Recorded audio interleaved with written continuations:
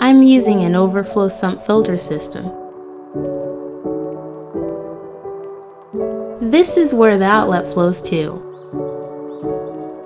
The water will go through to layers of filter wool tray, followed by layers of Japanese mat media, followed by coral chips and lava rocks, and lastly, before the water is introduced back to the tank, they have to be sterilized by UV. Here's the outlet pipe. There are two outlet points.